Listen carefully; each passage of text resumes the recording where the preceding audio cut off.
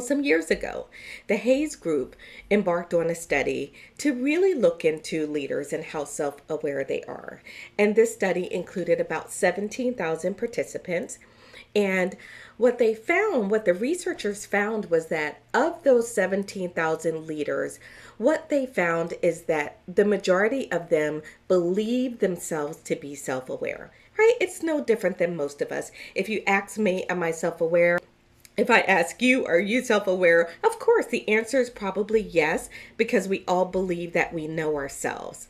Here's what this 17,000 uh, person study showed that was conducted by the Hayes Group.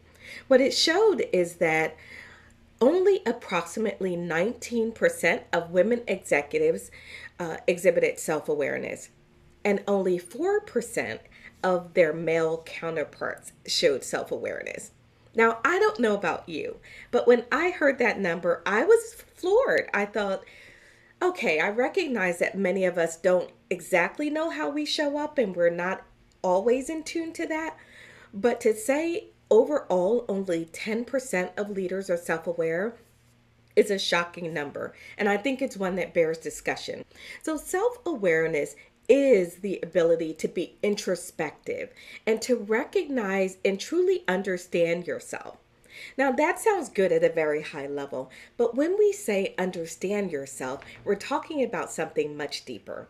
We're talking about understanding your thoughts, your emotions, your triggers, your belief, your habits, your characteristics. It's all of that. And it's recognizing also about how your mental and emotional state impacts your behavior and therefore impacts the others around you. So, self awareness is not just about knowing yourself, it's also about your ability to recognize your impact on the world around you. There are two main aspects of self awareness that I want you to think about. The first is self knowledge.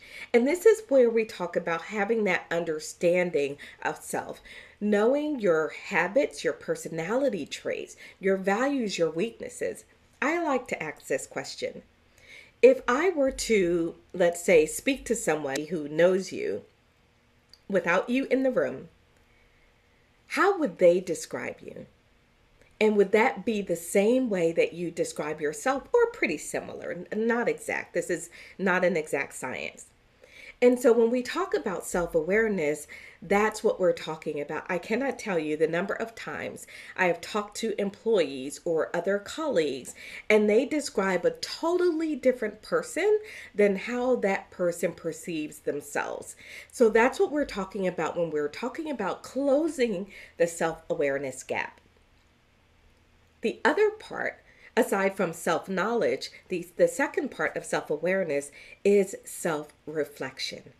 This is your ability to be able to step back and objectively reflect on those habits, traits, behaviors, your emotions, your triggers, right? It's your ability to objectively take a look at yourself almost as if you were standing outside of yourself and peering in through the window and to to be able to gain insight from that in a non-judgmental way one of the conversations I frequently have with clients when we're talking about this pattern and intentionally developing self-awareness it is this is not about beating yourself up. This is about not about talking about how bad you are or how good you are. This is an objective view you're gathering data.